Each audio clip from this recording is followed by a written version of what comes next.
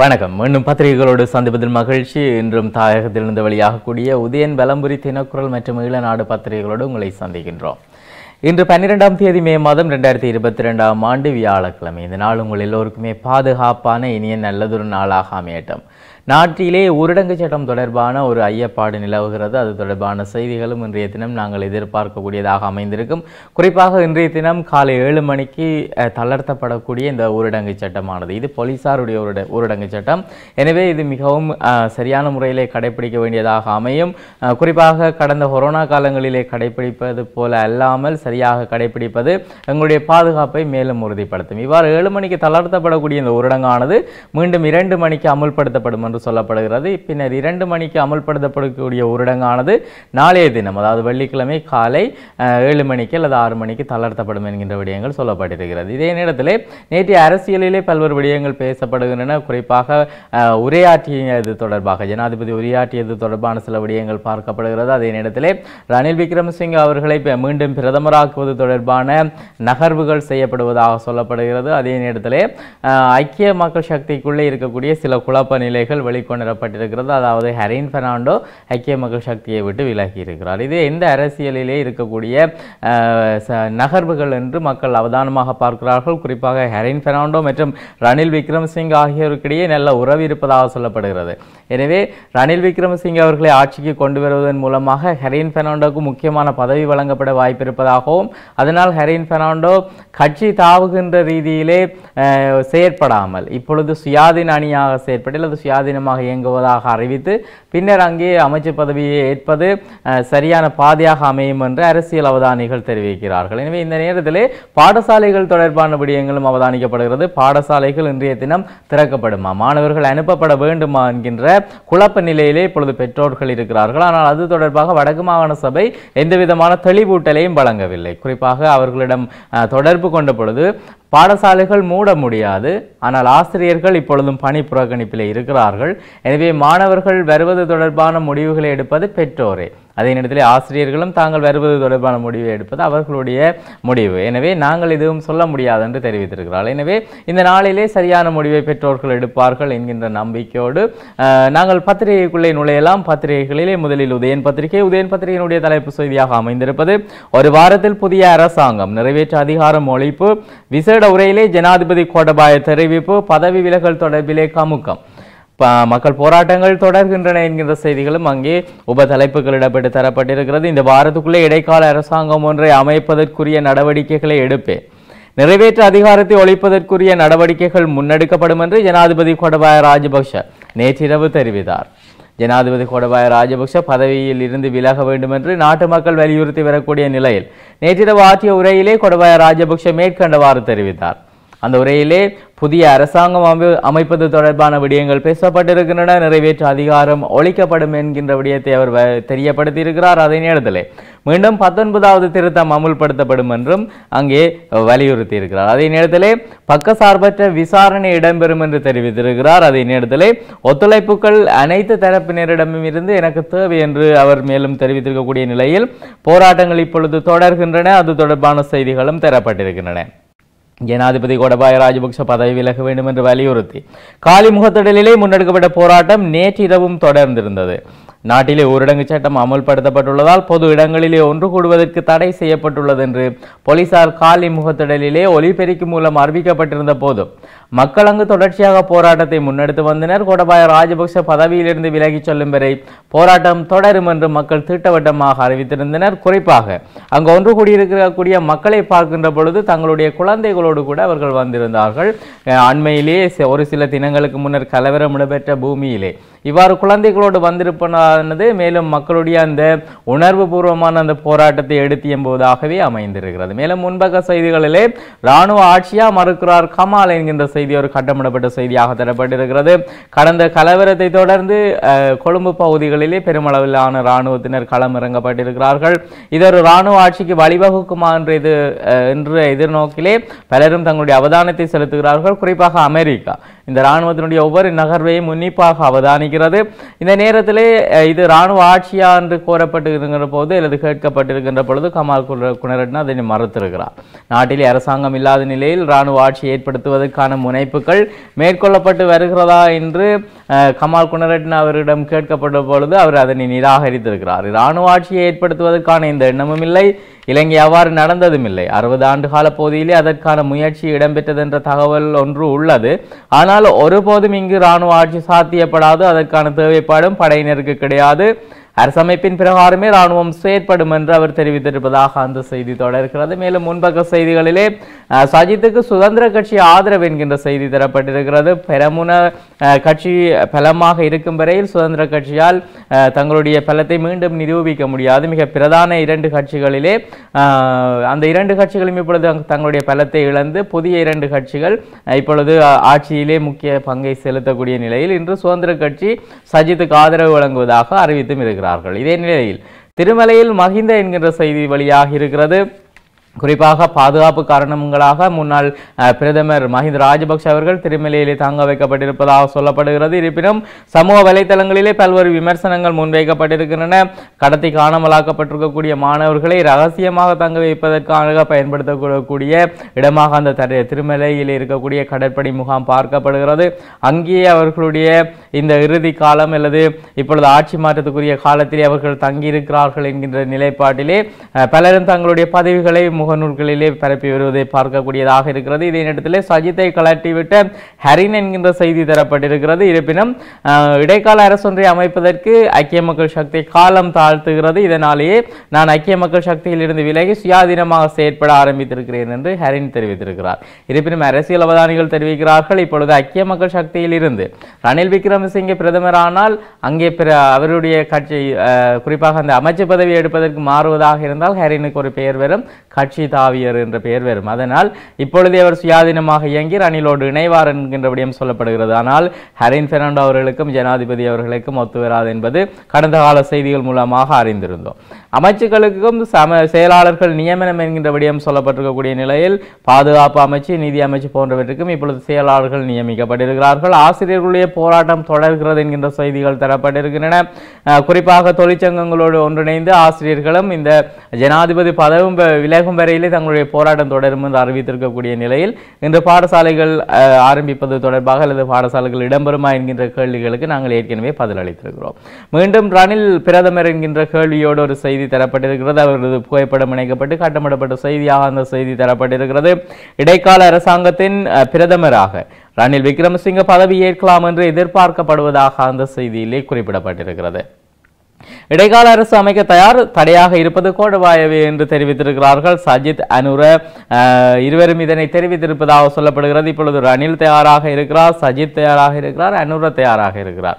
சஜித் மற்றும் அனுர ஆகிய இருவரும் ஒரே கட்சியிலே இருக்கிறார்கள். இப்பொழுது இவ்வாறான மூன்று பேருடைய அல்லது இந்த இரண்டு பேருடைய நிலைப்பாடானது அரசுக்கு மேலும் ஒரு சாதகமான விடயமாக அமையும் என்பதும் அவதானிகளுடைய கருத்தாக அமைந்திருக்கிறது. இதே நேரத்திலே உறுதியான அரசு இன்றேல் நெருக்கடி அதிகரிக்கும் என்று மத்திய மத்திய வங்கியினுடைய ஆளுநர் அபாய அறிவிப்பினை விடுத்திருக்கிறார். குறிப்பாக இப்பொழுது பணம் கையிலே இல்லை. இந்த நேரத்திலே உறுதியான அரசு தேவை என்று தெரிவித்திருக்கிறார். குறிப்பாக நாட்டில் இருக்கக்கூடிய நிலைமை இரண்டு நாட்களுக்கு மேல் தொடர்ந்தால் இப்பொழுது இருக்கக்கூடிய நிலைமை இன்னும் இரண்டு நாட்களுக்கு தொடர்ந்தால்.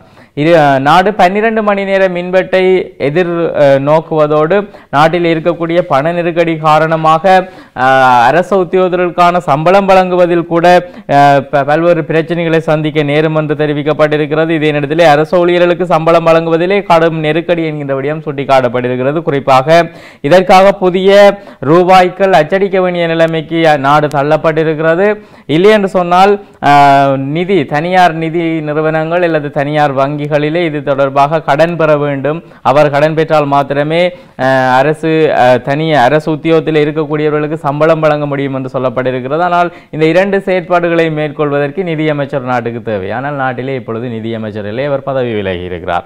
மக்களின் கோரிக்கைக்கு செவி சாய்ப்பதே நல்லதென்று பாப்பரசர் தெரிவித்திருக்கிறார். இது நேரத்திலே பாடசாலைகளுக்கு வருவது அவரவர் கைகளிலேயே இருப்பதாக வடக்கு கல்வி அமைச்சு தெரிவித்திருக்கிறது. ஏழு மணிக்கு தளர்த்தப்படக்கூடிய ஊரடங்கானது இன்று இரண்டு மணிக்கு மீண்டும் அமுல்படுத்தப்படும் என்கின்ற செய்தி தரப்பட்டிருக்கிறது. அதே நேரத்திலே விசேட கட்சி தலைவர்கள் கூட்டம். நாடாளுமன்றத்திலே இடம்பெறும் என்கின்ற விடயம் சொல்லப்பட்டிருக்கிறது. ஜூம் சட்டபூர்வம் இல்லையாம் என்றும் சொல்லப்பட்டிருக்கிறது. நேற்றைய தினம் ஜூம் தொழில்நுட்பம் ஊடாக நாடாளுமன்ற அமர்வுகள் இடம்பெறுவது தொடர்பான விமர்சனங்களும் அங்கே பல்வேறு மீம்ஸ் கிரியேட்டர்களினால் வழங்கப்படக்கூடிய மீம்ஸ்களையும் பார்க்கக்கூடியதாக அமைந்திருந்தது. இந்த நேரத்தில் ஊரடங்கு நீக்கப்பட்டால் மீன்வெட்டு அதிகரிக்கும் என்கின்ற செய்திகளும் தரப்பட்டிருக்கின்றன. இவை முன்பக்க செய்திகளாகவும் அமைந்திருக்கக்கூடிய நிலையில் உட்பக்க செய்திகளை பார்க்கலாம். ராஜபக்ச தரப்பினர் பதுக்கியவையே பதுக்கியவையை மீட்பென்கின்றபடியும் சொல்லப்பட்டிருக்கிறது பல நூறு எரிவாயு சிலிண்டர்கள். பல்லாயிரம் லிட்டர் டீசல் அஹ், அதே தொன் கணக்கில் அரிசி ரசாயன உரம் உணவுகள் போன்றவை ப- ராஜபக்சக்களால் பதுக்கி வைக்கப்பட்டிருக்கக்கூடிய அந்த பொருட்களாக பார்க்கப்படுகிறது. அவை இப்பொழுது மீட்கப்பட்டு மக்களுக்கு வழங்கப்பட்டதாகவும் சொல்லப்பட்டிருக்கிறது. அதே நேரத்தில் வலமுறை பத்திரிகையை பார்க்கலாம். தலைப்பு செய்தியாக அமைந்திருப்பது நிறைவேற்று அதிகாரத்தை ஒழிப்பதற்கு தயார் நாட்டு மக்களுக்கான விசேட உரையிலே ஜனாதிபதி தெரிவித்திருக்கிறார்.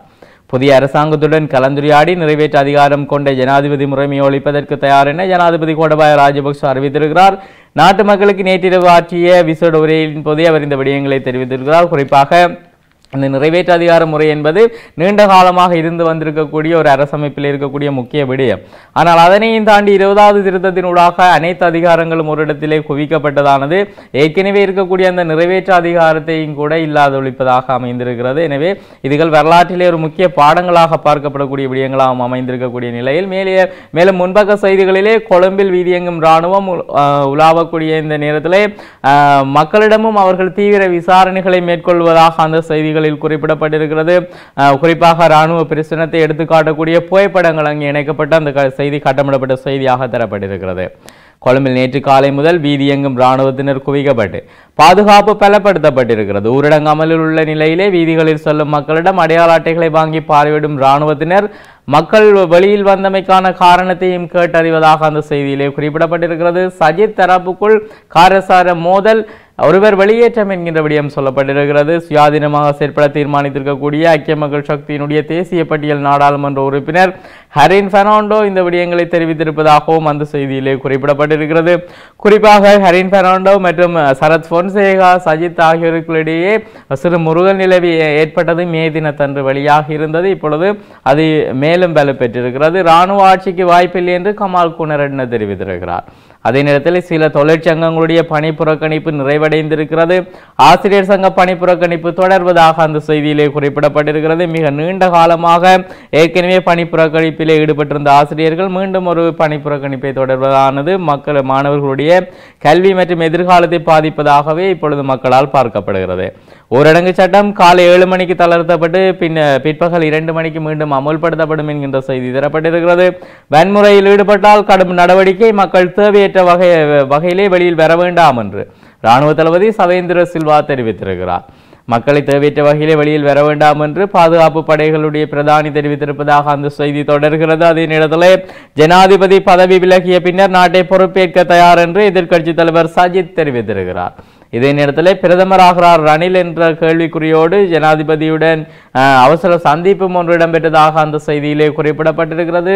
அந்த சந்திப்பிலே பிரதமராக பதவி ஏற்பதற்கு தயாராக இருங்கள் என்று ஜனாதிபதி தெரிவித்ததாக ஒரு செய்தி வெளியாகி இருக்கிறது உண்மைத்தன்மைகள் இனிவரும் காலங்களிலே உறுதிப்படுத்தப்படும். வலமுறை பத்திரிகையின் உட்பக்க செய்திகளை பார்க்கலாம். தமிழன் வீரத்துக்கு தலை வணங்கு. கவி பேரரசு பேரரசு வைரமுத்து ட்வீட் செய்திருக்கிறார். அவருடைய அந்த ட்விட்டரிலே அவருடைய அவருடைய கணக்கில் இருந்து எடுக்கப்பட்டிருக்கக்கூடிய புகைப்படமும் அஹ், விடுதலை புலிகளுடைய தலைவர் வேலுப்பிள்ளை பிரபாகரன் அவர்களுடைய புகைப்படமும் அந்த செய்தியிலே இணைக்கப்பட்டிருக்கிறது. முன்னாள் அமைச்சர்களின் வீடுகளுக்குள் அள்ள அள்ள வரும் அத்தியாவசிய பொருட்கள் மக்களுக்கு பகிர்ந்தளிக்கப்பட்ட பின்னர் வீடுகளுக்கு தீ வைக்கப்பட்டிருக்கக்கூடியதான செய்திகள் தரப்பட்டிருக்கின்றன. நாட்டிலே மிகவும் தட்டுப்பாடான அத்தியாவசியமான பொருட்கள் முன்னாள் அமைச்சர்களுடைய வீடுகளிலே பெருமளவு சிக்கி இருக்கின்றன யோசிதவுக்கு சொந்தமான உணவகம் தீக்கிரையாக்கப்பட்டிருக்கிறது. இதே நேரத்தில் லிட்ரோ எரிவாயு லொரிகள் நிறுத்தப்படும். முற்றம் தீக்கிரையாக்கப்பட்டிருக்கக்கூடியதான செய்திகளும் தரப்பட்டிருக்கின்றன. இது இன்றைய விளம்பரி பத்திரிகையின் முக்கியமான செய்திகளாக பார்க்கப்படுகிறது. மேலும் தினக்குரல் பத்திரிகையாக பத்திரிகையினுடைய தலைப்பு செய்தியாக அமைந்திருப்பது ஒரு வாரத்துக்குள் புதிய பிரதமர் பதவியேற்பார் நிறைவேற்றி ஜனாதிபதி முறைமையை ஒழித்து பத்தொன்பதை அமுல்படுத்த தயார் என ஜனாதிபதி தெரிவிப்பு என்கின்ற செய்திகள் இன்றைய முக்கிய செய்திகளாக தரப்பட்டிருக்கின்றன. இனிய பத்திரிகைகளிலும் இந்த செய்தி முக்கியமாக பார்க்கப்படுகிறது. பாராளுமன்றத்திலே பெரும்பான்மையானவர்களுடைய நம்பிக்கையை வென்ற மக்களின் நம்பிக்கையை உறுதிப்படுத்தக்கூடிய பிரதமர் ஒருவரை நியமிக்கவும் புதிய அமைச்சரவை அமைக்கவும் ஒரு வாரத்துக்குள் நடவடிக்கை எடுப்பேன் என ஜனாதிபதி கொடவாய் ராஜபக்ச தெரிவித்துள்ளார். இதேவேளை பத்தொன்பதாவது திருத்தத்தின் உள்ளடக்கங்களை மீள செயற்படுத்தும் வகையிலே புதிய அரசியலமைப்பு திருத்தத்தை கொண்டு வரவும் மற்றும் நிறைவேற்று ஜனாதிபதி முறைமையை இல்லாது செய்யவும் தேவையான வேலை திட்டங்களை முன்னெடுப்பேன் என்றும் ஜனாதிபதி கூறியுள்ளார். நாட்டு மக்களுக்கு நேற்று விசேட உரையாற்றும் போது அவர் இதனை தெரிவித்ததாக சொல்லப்படுகிறது. விசேட உரை ஆரம்பிக்கும் பொழுது முப்பது வருட கொடிய யுத்தத்தை முடிப்பேன் என்று வளமையாக முடித்த நான் என்று வளமையாக ஆரம்பிக்கக்கூடிய அல்லது அதனை விழிக்கக்கூடிய ஜனாதிபதி இந்த தடவை அது தொடர்பாக எதுவும் தெரிவிக்கவில்லை என்றும் சொல்லப்படுகிறது. இதே நேரத்திலே வேலை நிறுத்தம் கைவிடப்பட்டது என்கின்ற செய்தி தரப்பட்டிருக்கிறது. அரசு ஆதரவாளர்களினால் மேற்கொள்ளப்பட்டிருக்கக்கூடிய அஹ், தாக்குதல்களுக்கு எதிர்ப்பு தெரிவித்து நாடு முழுவதிலும் மேற்கொள்ளப்பட்ட வேலைநிறுத்த போராட்டத்தை கைவிடுவதற்கு தொழிற்சங்கங்கள் தீர்மானித்திருப்பதாக அந்த செய்தியிலே சொல்லப்பட்டிருக்கிறது. ஆனால் ஆசிரியர்களுடைய போராட்டம் தொடர்கிறது. திட்டமிட்டபடி ஓயல் பரீட்சை இடம்பெறும் என்கின்ற செய்தி தரப்பட்டிருக்கிறது. இம்மாதம் இருபத்தி மூன்றாம் தேதி தொடக்கம். இந்த பரீட்சை இடம்பெறும் என்று அறிவிக்கப்பட்டிருக்கிறது. எனவே மாணவர்கள் தயார் நிலையில் இருப்பது சிறந்ததாக அமையும். காலி முகத்திடலிலிருந்து உடனடியாக வெளியேறுங்கள். போலீசார் உத்தரவு போராட்டக்காரர்கள் நிராகரிப்பு என்கின்ற செய்தி தரப்பட்டிருக்கிறது. நேற்றைய தினம் ஊரடங்கு அமுல்படுத்தப்பட்டிருக்கக்கூடிய நிலையில் காலி முகத்திடலிலே மக்கள் ஒன்று கூடியிருந்தார்கள். அதனை கலைக்கும் முகமாக ஒலிபெருக்கிகளிலே அறிவிக்கப்பட்டு கொண்டிருந்தது. இருப்பினும் மக்கள் அதனை நிராகரித்து அந்த இடங்களிலே கூடி நின்று போராட்டங்களிலே ஈடுபட்டிருந்ததை காணொளிகள் மூலமாக பார்க்க கிடைத்திருந்தது. இடைக்கால அரசாங்கத்தின் பிரதமராக நான் தயார் நான் தயார் நான் தயார் நிபந்தனையுடன் சஜித் அனுர அணில் அறிவித்திருக்கிறார்கள். இதே நேரத்தில் அவர்களுடைய புகைப்படத்தோடு அந்த செய்தி தரப்பட்டிருக்கிறது. அதே நேரத்தில் இன்று காலை ஊரடங்கு தளர்வு இரண்டு மணிக்கு பின்னர் அமுலாகும் என்கிற விடயம் சொல்லப்பட்டிருக்கிறது. அதே போல ராணுவத்துக்கு அதிக அதிகாரம் ராணுவ ஆட்சியாக ஆனால் இது மாறாது என்று தெரிவித்திருக்கிறார் பாதுகாப்பு செயலர் கமால் குணரட்ன. அதே நேரத்தில் ஒருபோதும் பதவி விலக மாட்டேன். ஐக்கிய மக்கள் சக்தி பிரதானிகளிடம் ஜனாதிபதி தெரிவிப்பு என்கின்ற செய்திகளும் தரப்பட்டிருக்கின்றன. இவ்வாறு இப்போ பிரதமர் தெரிவித்து வந்திருக்கக்கூடிய நிலையில் இப்பொழுது பிரதமர் பாதுகாப்புக்காக திருவண்ணாமலையிலே தங்க வைக்கப்பட்டிருப்பதாக நாங்கள் முன்னைய செய்திகளிலும் பார்த்திருக்கின்றோம். கொழும்பில் பெருமளவில் ராணுவம் குவிப்பு கவச வாகனங்கள் உள்ளிட்ட கனரக கனரக வாகனங்கள் ரோந்து வீதி தடைகள் சோதனைகளும் அதிகரிப்பு என்கின்ற செய்திகள் சொல்லப்பட்டிருக்கின்றன. வடக்கிலே மக்கள் எதிர்கொண்டிருக்கக்கூடிய பிரச்சனைகளை இப்பொழுது தெற்கு மக்களும் உணர்வதாக நேற்றைய சமூக வலைதளங்களிலே குறிப்பிடப்பட்டிருந்தது. இதே நேரத்தில் மஹிந்த எங்கே இருக்கிறார்? பாதுகாப்பு செயலர் தகவல் வழங்கியிருக்கிறார். பாதுகாப்பு காரணங்களுக்காக முன்னாள் பிரதமர் மஹிந்த ராஜபக்ச திருவோணமலை க திருமலை திருவோணமலையில் இருக்கக்கூடிய இலங்கை கடற்படையின் கப்பலிலே தங்க வைக்கப்பட்டிருப்பதாக அந்த செய்தியிலே குறிப்பிடப்பட்டிருக்கிறது. இலங்கை மக்களின் குரல்களுக்கு அதிகார தரப்பு செவிசாய்க்க வேண்டும் என பாப்பரசர் புனித பாப்பரசர் கோரிக்கை விடுத்திருப்பதாக அந்த செய்தியிலே குறிப்பிடப்பட்டிருக்கிறது. இலங்கையில் வன்முறைகள் தவிர்க்கப்பட வேண்டும். இலங்கை வாழ் மக்களின் குரல்களுக்கு அதிகாரத்தில் உள்ளவர்கள் செவிசாய்க்க வேண்டும். மனித உரிமைகள் மற்றும் பொதுமக்களின் சுதந்திரங்கள் முழுமையாக மதிக்கப்படுவது உறுதி செய்யப்பட வேண்டும் என பாப்பரசர் பிரான்சிஸ் கோரிக்கை விடுத்திருப்பதாக அந்த செய்தியிலே குறிப்பிடப்பட்டிருக்கிறது. அண்மையிலே இளைஞனுடைய கருத்தினால் மல்கம் ரஞ்சித் ஆண்டிகை பாப்பரசரை சந்தித்திருந்ததும் அஹ், உயிர்த்த ஞாயிறு தாக்குதலால் பாதிக்கப்பட்டவர்கள் பாப்பரசரை நேரடியாக சந்தித்து தங்களுடைய நேரடி வாக்குமூலங்களை வழங்கியதையும் நாங்கள் அறிவோம். ஊரடங்கு தளர்த்தப்பட்டால் ஐந்து மணி நேரம் மின்வெட்டு என்கின்ற செய்தி தரப்பட்டிருக்கிறது. ஐக்கிய மக்கள் சக்தியிலிருந்து விலகும் ஹெரின் பெர்னாண்டோ அரசமைக்க தயங்குவதை கண்டித்து இந்த முடிவு எடுத்திருப்பதாக சொல்லப்பட்டிருக்கிறது. இது இன்றைய தினக்குரல் பத்திரிகையினுடைய முன்பக்க செய்திகளாகவும் அமைந்திருக்கிறது. உட்பக்க செய்திகளிலே செயலிழந்த நிலையில் நாடு பதவி விலகப் போவதாக மத்திய வங்கி ஆளுநர் எச்சரித்திருக்கிறார். இதே நேரத்தில் மஹிந்த உள்ளிட்டோருக்கு பயண தடை விதிக்க உடனடியாக நடவடிக்கை எடுங்கள் என்று சட்டத்துறையினர் கோரிக்கை வைத்திருக்கிறார்கள். எதிர்க்கட்சி தலைவர் பிரதமர் பதவியை உடனடியாக பொறுப்பேற்க வேண்டும் என்று சுதந்திர கட்சி ஆதரவளிக்கக்கூடிய தேசுரி ஜெயசேகர கோரிக்கை விடுத்திருக்கக்கூடியதான செய்தி தரப்பட்டிருக்கிறது. இதே நேரத்தில் பொது போக்குவரத்தில் ஈடுபடும் நாற்பது பஸ்கள் வன்முறையிலே தீக்கிரையாகப்பட்டிருக்கிறது. பஸ் உரிமையாளர்கள் தொழிற்சங்க பிரதிநிதிகள் இதனை தெரிவித்திருக்கிறார்கள். இதே நேரத்திலே ஆசிரியர் சங்கத்தினுடைய தொழிற்சங்க போராட்டம் இன்றும் தொடரும் என யோசப் ஸ்டாலின் அறிவித்திருக்கிறார். இலங்கை வங்கியை வீழ்த்தி தேசிய சேமிப்பு வங்கி வெற்றி பெற்றதாக விளையாட்டு செய்திகள் பக்கத்திலே குறிப்பிடப்பட்டிருக்கிறது. அதே நேரத்தில் பொதுமக்களை பாதிக்கும் வகையிலே மின்வெட்டு அமுல்படுத்தப்படாது இலங்கை மின்சார பொறியியலாளர் சங்கம் தெரிவித்திருக்கிறது. தமிழ் இளைஞர்கள் யாரும் வன்முறைகளிலே ஈடுபடக்கூடாது என தமிழ் தேசிய பண்பாட்டு பேரவை கோரியிருக்கிறது. அதே நேரத்தில் கொத்து விறகினுடைய விலைகள் இப்பொழுது அதிகரிக்கப்பட்டதாக சொல்லப்பட்டிருக்கிறது. அதே போல நல்லிணக்கம் நல்லுறவை வலுப்படுத்துவதன் மூலமே பிரச்சனைகளை தீர்க்க முடியும் என டக்ளஸ் தேவானந்தா தெரிவித்திருக்கக்கூடிய செய்திகளும் தரப்பட்டிருக்கின்றன. இலங்கைக்கு சகோதரத்துவத்தின் பிரகாரம் உதவிக்கரம் நீட்ட வேண்டும் என சீன தூதுவரிடம் சஜித் கோரியதாக ஒரு செய்தி தரப்பட்டிருக்கிறது. அதே நேரத்தில் இளநாடு பத்திரிகையை பார்க்கலாம். தலைப்பு செய்தியாக அமைந்திருப்பது புதிய பிரதமராகிறார் ரணில் விக்ரமசிங்க. கேள்விக்குறியோடு அந்த செய்தி தரப்பட்டிருக்கிறது. இலங்கை அரசியலிலே திடீர் திருப்பம் என்று சொல்லப்பட்டிருக்கிறது. நாட்டிலே ஏற்பட்டிருக்கக்கூடிய பெரும் அரசியல் நெருக்கடிக்கு மத்தியில். ஐக்கிய தேசிய கட்சியினுடைய தலைவர் ரணில் விக்ரமசிங்க புதிய பிரதமராக பதவி ஏற்க உள்ளார் என்று அந்த செய்தியிலே சொல்லப்பட்டிருக்கிறது. மக்களால் நிராகரிக்கப்பட்டு தேசிய பட்டியலூடாக வந்திருக்கக்கூடிய ஒருவர் இப்பொழுது பிரதமராகிறார். ஆனால் அரசியலிலே சில தீர்மானங்களை எடுப்பதில் முக்கியவராக முக்கியமானவராக ரணில் விக்ரமசிங்க திகழ்ந்து வருகிறார். இதே நேரத்திலே மக்களின் கோரிக்கைகளுக்கு செவி சாய்க்க வேண்டும் அரசு திருத்தந்தை பிரான்சிஸ் பகிரங்கமாக கோரிக்கை முன்வைத்திருக்கக்கூடிய செய்திகளும் தரப்பட்டிருக்கின்றன. ராணுவம் களமிறக்கப்படுவதை அமெரிக்கா கூர்ந்து கவனிக்கிறது. ராஜாங்க திணைக்களம் இந்த விடயத்தை தெரிவித்திருக்கிறது. கொழும்பு வீதியெங்கும் ராணுவத்தினர் குவிப்பு என்கின்ற செய்தி கவச வாகனத்தினுடைய புகைப்படத்தோடு தரப்பட்டிருக்கிறது. தேவையற்று பொதுமக்கள் வெளியில் வர வேண்டாம். ராணுவ தளபதி வேண்டுகோள் விடுத்திருக்கிறார். ஊரடங்கு சட்டம் இன்று காலை நீக்கம் மீண்டும் பிற்பகல் நடைமுறைக்கு என்கின்ற செய்திகள் தரப்பட்டிருக்கின்றன. அதே நேரத்தில் இந்த வாரத்துக்குள் புதிய அரசு பத்தொன்பது மீள அமுல்படுத்தப்படும். விசேட உரையிலே ஜனாதிபதி உறுதியளித்திருக்கிறார் அதே நேரத்தில் ஐக்கிய மக்கள் சக்திக்குள் பிளவு. ஹரின் பெர்னாண்டோ விலகல் என்கின்ற செய்திகளும் பாதுகாப்பு கருதி மஹிந்த ராஜபக்ஷ திருவோணமலை கடற்படை தளத்திலே உறுதிப்படுத்தினார். பாதுகாப்பு செயலாளர் என்கின்ற செய்திகளும் தரப்பட்டிருக்கின்றன. இவை இன்றைய ஈழநாடு பத்திரிகையின் முக்கியமான முன்பக்க செய்திகளாக அமைந்திருக்கக்கூடிய நிலையில் யாழ் மாவட்ட பொருள் விநியோகம் எந்த பாதிப்புகளும் ஏற்படவில்லை என மொத்த விற்பனையாளர்கள் தெரிவித்திருக்கக்கூடிய நிலையில் மேலும் பல செய்திகள் இன்றைய உட்பக்கத்திலே தரப்பட்டிருக்கிறது. தமிழீழ மக்களின் சாபத்தினாலேயே இலங்கை தீப்பற்றி எரிகிறது என விஜயகாந்த் அறிக்கை வெளியிட்டிருக்கிறார். அதே நேரத்தில் கோட்டா பதவியில் இருக்கும் வரை இடைக்கால அரசுக்கு ஆதரவு இல்லை என அனுரகுமர திசநாயக்க திட்டவட்டமாக தெரிவித்திருக்கிறார். அதே அதே நிலைப்பாட்டிலேயே சஜித்தும் இருக்கிறார். இதன் காரணத்தினாலேயே இப்பொழுது ரணில் விக்ரமசிங்க அங்கே பிரதமராக்க கொண்டு வரப்படுவதாக சொல்லப்படுகிறது. இதே நேரத்தில் சிங்கள மக்களுடன் நல்லிணக்கத்தை வலுப்படுத்தினால் பிரச்சனைகள் தீரும் என கூறுகிறார் டக்ளஸ் தேவானந்தா என்கின்ற செய்தி தரப்பட்டிருக்கிறது. அதே நேரத்திலே ஜனாதிபதி கோட்டா பதவி விலக வேண்டும் என செல்வம் எம்பி கோரிக்கை முன்வைத்திருக்கிறார்.